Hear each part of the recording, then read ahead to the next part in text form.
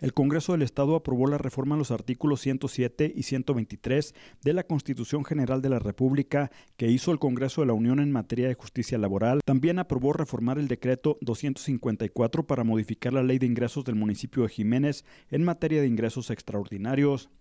La legislatura local autorizó al municipio de Ramos Arizpe a otorgar en comodato por 99 años un terreno municipal de 2.500 metros a favor de la asociación Casa Hogar Puro Corazón, que ofrece sus servicios a niños y jóvenes desamparados. También aprobó un comodato por el mismo plazo al municipio de Ramos Arizpe de un terreno de más de 850 metros cuadrados para la construcción de la parroquia de la Virgen de San Juan de los Lagos.